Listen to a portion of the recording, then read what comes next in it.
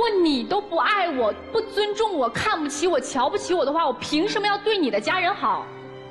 所以我觉得你欺负人。所以不是遇到了他，你遇到谁，没人敢娶你。摧毁式的爱，他不只摧毁你弟弟，也摧毁了你。你没有独立的未来，姑娘。视频里被导师训哭的女生叫小邓，因为事事以弟弟为先，看不起男友和其家人。这不因为彩礼的事情，不仅被男友退婚，更是被未来公婆嫌弃，说是卖女儿。这到底是怎么回事呢？完了，两个恋人就闹翻了。要结婚了嘛，我们两家人就在一起吃了个饭。嗯，啊，结果呢，他爸一来就说，嗯，要二十万彩礼，然后其中十万还要借给他弟弟做生意用嘛。然后我们家里面当时就心里不舒服了嘛。本以为双方父母见面能够促成两对小新人，然而小邓父母当场提出要二十万彩礼，其中十万还是给小邓弟弟要的。合着这不是要嫁女儿，这是要为了儿子卖女儿啊！也怪不得小杨父母接受不了。我爸就提了一嘴，我们就是要彩礼的事情。嗯，然后他妈就一上来就说我们家卖闺女的，然后我爸当时听了就急了嘛，那肯定当时就说非二十万不嫁了嘛。我爸妈当时拽着我跟我弟。就让我们走。显然，面对小杨的解释，小邓不能接受，觉得自己父亲只是试探。而小杨母亲的一句卖闺女，让父母很伤心，觉得都是男友一家人的错。但当时我没回去啊，当时我不是跟你回家了吗？是跟我回家了，但结果呢？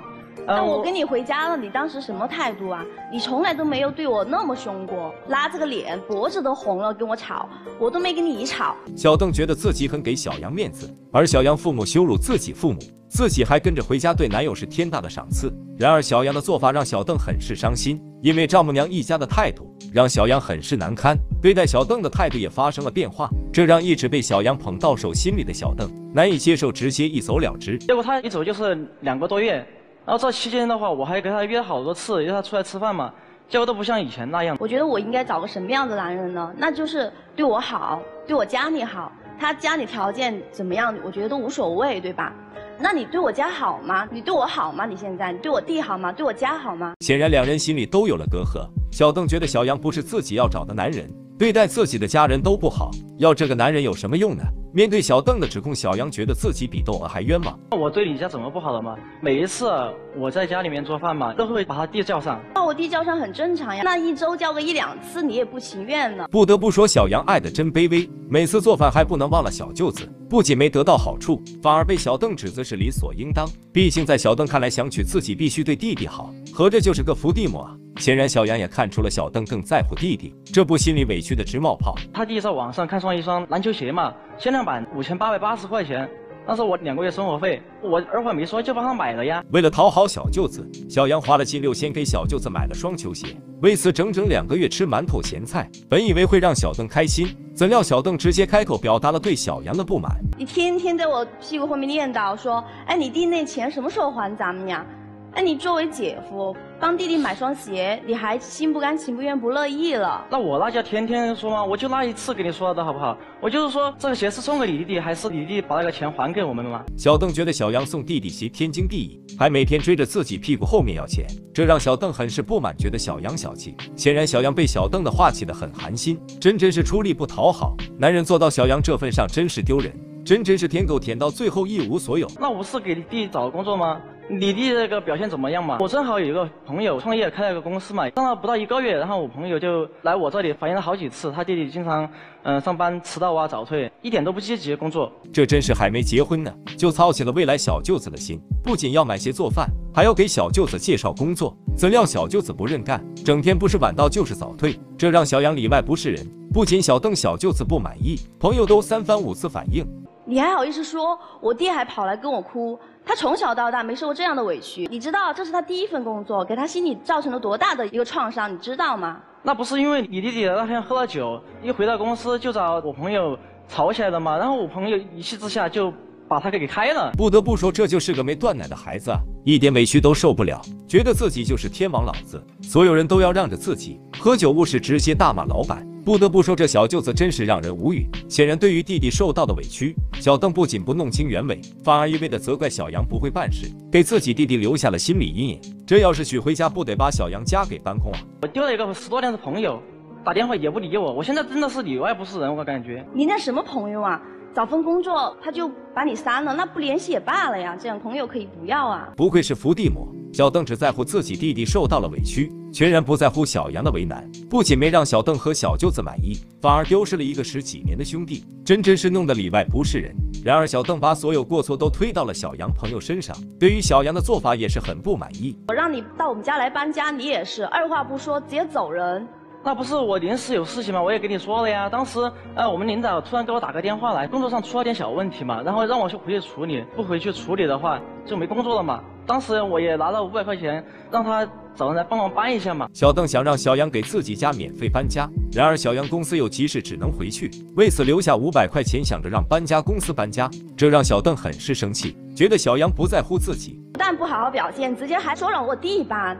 我弟弟他那么小，能搬重活吗？你觉得？那你弟弟搬一下怎么了嘛？都是二十好几的人了，对不对？哦，到你那儿，我弟就成了一个干苦力活的捡破烂了，是吧？这双标真是让人无语，真不知道小邓的父母是不是恨女儿还是恨儿子？儿子二十多岁了，肩不能扛，手不能提。明明小杨比自己弟弟就大两岁，对待小杨却像对待奴隶一样要求。然而到了自己弟弟小邓，不仅不让弟弟干活，还觉得是让弟弟捡破烂。这三观真是惊掉了在场所有人的下巴。弟弟，弟弟，弟弟，你这么爱你的弟弟，你觉得对弟弟有好处吗？好像我听了，这边是二十来岁，你弟弟也二十来岁了，同样搬一个家，干一个活，他能干，弟弟不能干，都是男人，有什么区别吗？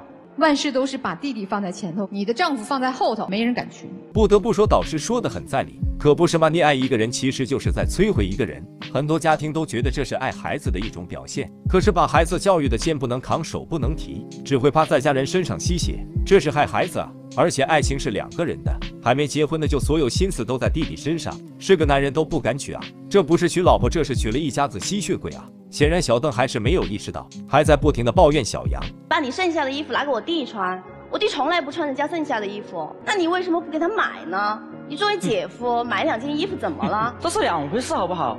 给弟买了衣服呀，也买了不少衣服吧。小邓觉得自己弟弟就适合最好的，而小杨却让弟弟穿他的旧衣服，这让小邓气不打一处来，觉得小杨看不起自己弟弟，为什么不能给弟弟买新衣服？这让赵川都听不下去了。这是你老公吗？不是，没结婚怎么就成了姐夫了呢？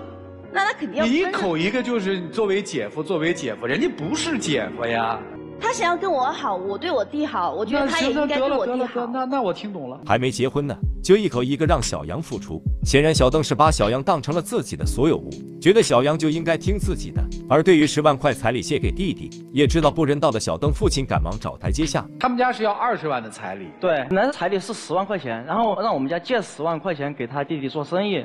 我爸当时是这样说的啊，然后后来呢，嗯，看着我们两家闹得不愉快嘛，然后后来我爸给我发信息说，其实吧，这十万块钱要不要也没什么，就是想考验一下他们家，看他们家什么呢？态度。说好听点是试探，可明明都要结婚了，还试探个屁啊！说白了就是想诚心搅黄。不仅如此，小邓一家还把错误都怪到了小杨一家身上，显然赵川气得不轻，从没见过如此厚颜无耻的一家人。一系列提问更是让小杨、小邓哑口无言。小舅子还会以后得罪你很多的好朋友，行吗？小舅子还没结婚呢，小舅子结婚的时候，女方也要彩礼，你帮着出吗？